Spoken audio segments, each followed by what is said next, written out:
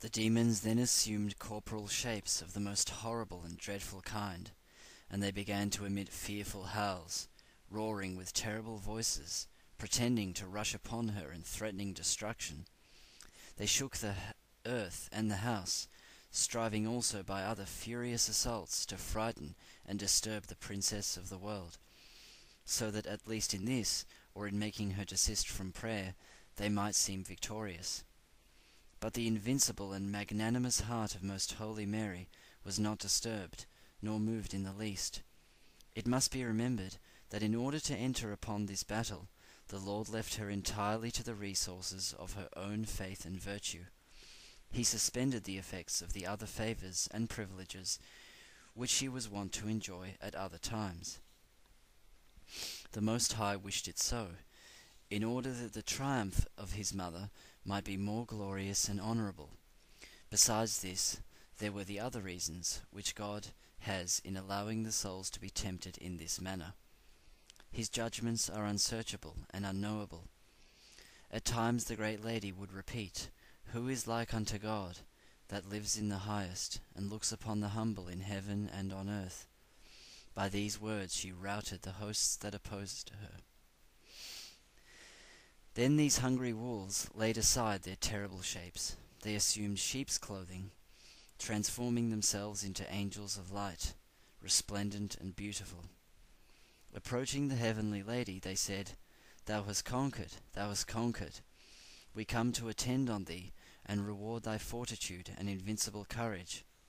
Surrounding her, they protested their friendship in flattering and deceitful terms.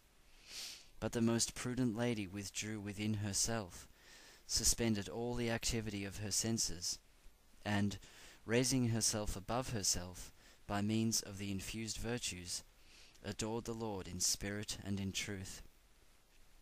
Despising all the snares of these evil tongues and their deceitful lies, she spoke to her most holy Son, My Lord and Master, light of light and my strength. In thy help alone do I place all my confidence and the exaltation of thy holy name. All those that speak otherwise I abjure, abhor, and detest. But the doers of evil persevered in their insane attempts against the Mother of Knowledge, and continued to extol beyond the skies her who had humiliated herself beneath the lowest of creatures. They protested that they wished to exalt her above all women and confer upon her an exquisite favor. They would select her in the name of the Lord for the mother of the Messiah, and they assured her that her holiness would be greater than that of the patriarchs and prophets. Lucifer himself was the author of this new plot, and his malice is here made known for a warning to other souls. But it was ridiculous to offer to Mary, the Queen of Heaven, a dignity already her own. They themselves were ensnared and deceived, not only in offering what they neither knew nor were able to give, but also in being ignorant of the sacrament of the King, so intimately connected with the most blessed woman whom they persecuted. Nevertheless, the iniquity of the dragon was great, because he knew that he could not fulfill what he promised. He tried to spy out whether perhaps our Blessed Lady held that dignity, or whether she would give him some sign by which he could conjecture it. Most Holy Mary was aware of this double dealing of Lucifer, and admirably met it with a quiet firmness. She answered the deceitful flatteries by quietly continuing her prayer and adoring the Lord. Prostrated upon the floor, she humiliated herself, confessing herself as the most despicable of creatures, more despicable than the dust under her feet. By this humble prayer and prostration, she cut off the presumptuous pride of Lucifer as long as this temptation lasted. As for the rest which happened, the cunning of the demons, their cruelty and lying deceits on this occasion, it seemed to me that I should not relate all, nor that I should expatiate on all that has been shown to me. Let this much suffice for our instruction, for not all can be trusted to the ignorance of weak and earthly creatures. Dismayed and routed, the first host of enemies retired and gave way to the second. These were to tempt her, who was the most poor of humankind, to the sin of avarice. They offered to her great riches, gold, silver, and most precious gems, and in order that these might not seem empty promises, they placed before her a great quantity of these riches, although they were only apparent, for they thought that they could exert greater influence on her will by actually presenting these objects before her. They accompanied this offer with many deceitful words, and told her that God had sent her all this for distribution among the poor. When they saw that all this had no effect upon her, they changed their tactics and urged that since she was so holy, it was a great wrong that she should remain so poor. It was more reasonable that she possess these riches than that they remain in the hands of wicked sinners. For this would be an injustice and a disarrangement of the divine providence that the just be visited with poverty, while God's wicked enemies abound in riches and affluence. In vain the net is spread before the eyes of the bird in its flight, says the wise man. This was true of all the temptations of our sovereign queen.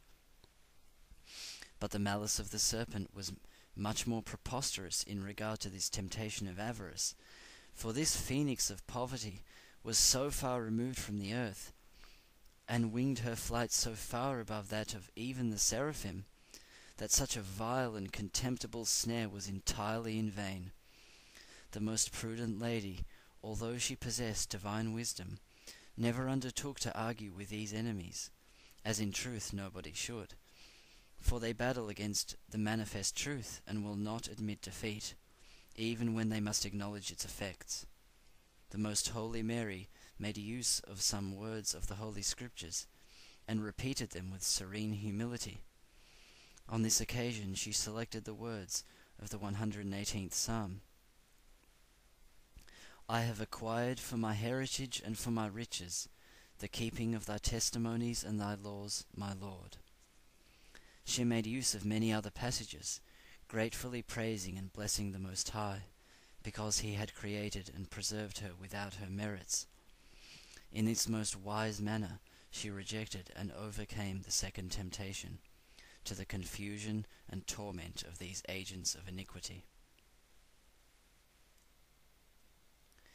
Then advanced the third legion, led on by the prince of impurity who assails the weakness of the flesh.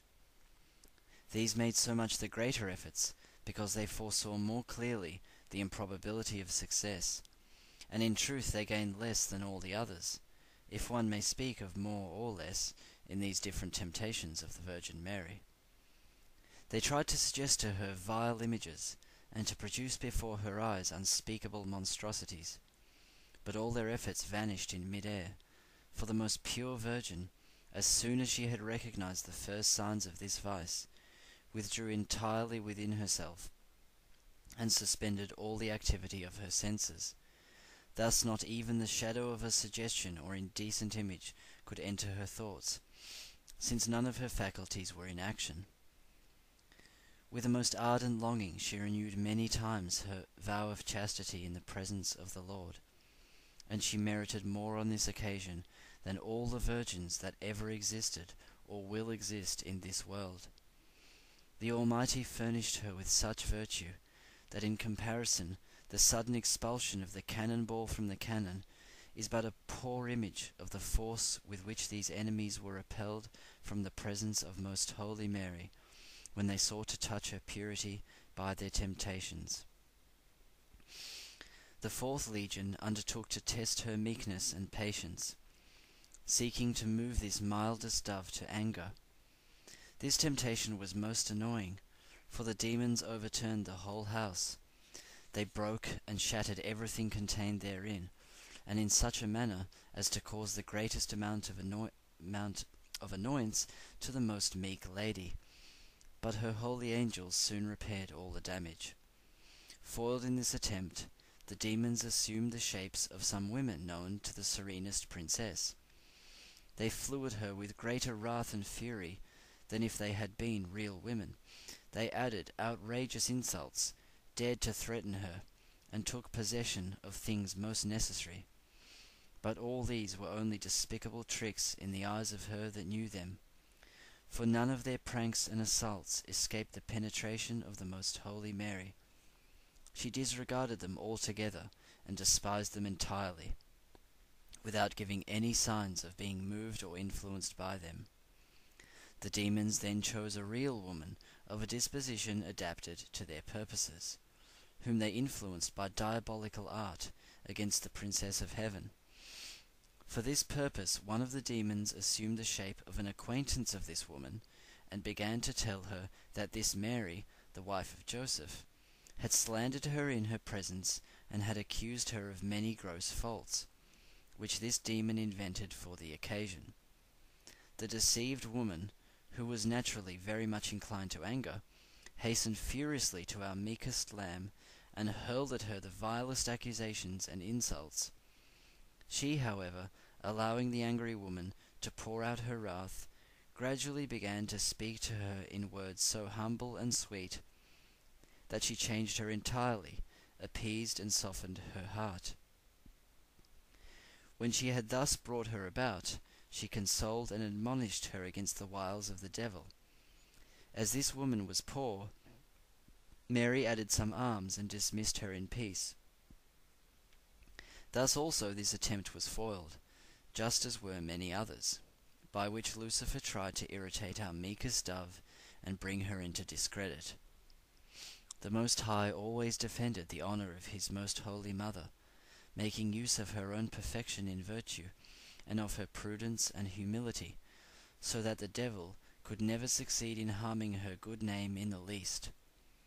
She always acted so prudently and with so much meekness and wisdom that the multitude of the hellish attempts were totally ineffectual. The tranquillity and meekness of the sovereign lady during these temptations of the dragon caused the admiration of the angels. Even the demons were full of astonishment, though of a different kind, at seeing such behaviour in a mere creature, and that a woman, for never had they seen the like. The fifth legion followed with temptations to gluttony. Although the ancient serpent did not bid our queen to turn stones into bread, as he afterwards presumed to do with her most holy son, for he had not seen her do such great wonders, since they had been withheld from his knowledge. Yet he tempted her like the first woman with the pleasures of the taste. They placed before her a great feast, in order to incite and mislead her appetite by outward allurements. They tried to influence the humours of her body, so as to cause in her a counterfeit hunger, and they used other means to attract her attention to what they were offering. But all their labour was in vain and without effect, for from all these material and earthly things the noble heart of our princess was as far removed as heaven is from earth. Just as little did she use her senses in order to enjoy the pleasures of taste, yea, she never even took notice of them for in all things she had set herself to counteract what our first mother Eve had done. Eve incautiously and heedlessly had looked upon the beauty of the tree of knowledge and upon its sweet fruit, and then had reached out her hand to eat, thus beginning our woe. Not so most holy Mary, who withdrew and locked up her senses, although she was in no such danger as Eve. Our first mother was overcome for our perdition, while our Queen conquered for our rescue and salvation.